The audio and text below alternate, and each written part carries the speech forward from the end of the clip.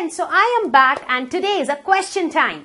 So we have learned a lot about periodic classification of elements. We learned about Mendeleev's periodic table, modern periodic law. We learned about the trends in periods and groups. So I feel that you are all set and ready to answer some of the questions. So let's try to attempt few interesting questions. Name two elements you would expect to show chemical reactions similar to magnesium. Now, uh, if we expect similar chemical properties, that means we are talking about elements which are in the same group. Only then they will have similar properties, right? So, any element in the same group as magnesium is, where is magnesium? It is in group 2. So, any element in this group will do. So, here we have to name two such elements. It could be calcium, strontium, because they all lie in the same group. Name three elements that have a single electron in their outermost shells. Okay.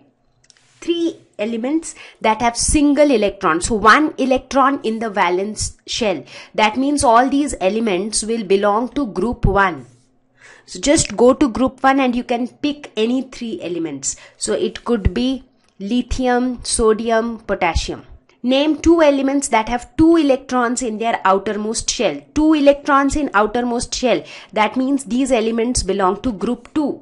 So from group 2 you can pick any two elements. It could be beryllium, magnesium. Three elements with filled outermost shells. Filled means how many electrons you need. You need 8 electrons in the outermost shell. The only exception is helium which has 2 electrons. So basically you can pick up any element from group 18. So it could be neon, helium, argon, krypton. So all of these have filled outermost shells. Lithium, sodium, potassium are all metals that react with water to liberate hydrogen gas. Is there any similarity in the atoms of these elements? So if you look at these elements, lithium, sodium and potassium. So all of them belong to the same group. Now since they are in the same group, therefore they have same valency, therefore they have same valence electrons and therefore their physical and chemical properties are similar. Helium is an unreactive gas. Where is helium? Here. And neon is a gas of extremely low reactivity. What if anything do their atoms have in common? Again, they belong to the same group and also they have filled valence shell that is their outermost shells are filled therefore they do not tend to react with uh, any other element right and they all belong to the same group in the modern periodic table, which are the metals among the first 10 elements? So, which are the first 10 elements? Hydrogen, helium, lithium, beryllium, boron, carbon, nitrogen, oxygen, fluorine, neon. So, till here you see most of these elements are on the right hand side which means they are not metals so the only metals are lithium and beryllium in fact hydrogen is an exception which is on the left hand side but it is not a metal Let's look at the next question. By considering their position on the periodic table, which one of the following elements would you expect to have maximized metallic characteristic? Gallium, germanium, arsenic, selenium and bromine. So let us first identify these metals on the periodic table. So this is gallium, germanium, arsenic, selenium and bromine. So these are the elements. Now looking at their position, we see that all of them belong to the same period. Now we know that in a period, as we move from left to right, what happens to the metallic characteristic?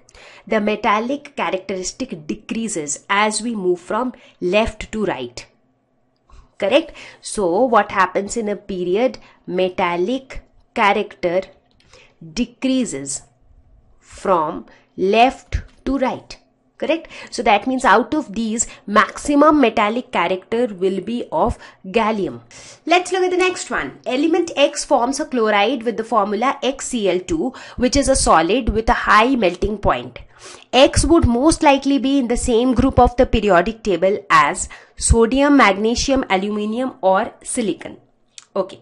So the options which are given so what how how does sodium react with chlorine? It reacts with chlorine to form NaCl what about magnesium? It reacts with chlorine to form MgCl2 aluminium? It reacts with chlorine to form AlCl3 and what about silicon? It forms SiCl4 right? So now we say that X forms a chloride of the formula XCl2 which is very similar to that of MgCl2 correct? So that means there are chances that x lies in the same group as magnesium because all the elements which lie in the same group they have similar chemical properties. Therefore they form similar types of oxides hydrides chlorides and so on. So therefore the correct option would be magnesium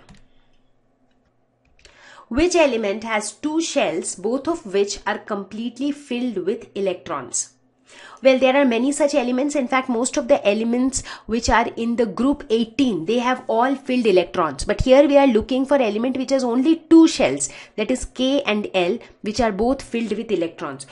So, two such elements could be helium or neon. So, for neon also it is 2, 8, both are filled which element has electronic configuration 282 so if you sum this up it is 2 plus 8 plus 2 that is 12 so the element with atomic number 12 that is magnesium.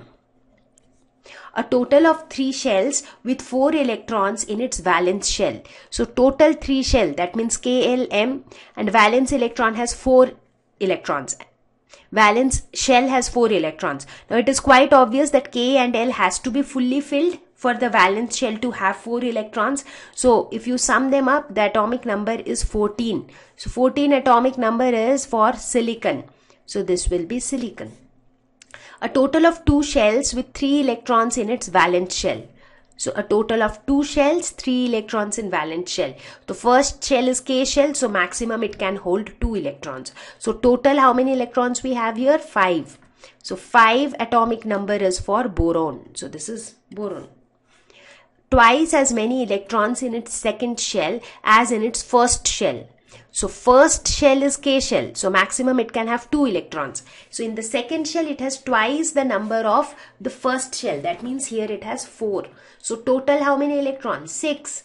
So 6 atomic number that is carbon. So this is carbon. So you see these are pretty simple questions just that you need to uh, think and you need to understand the question properly. You may get these kind of questions as one mark question.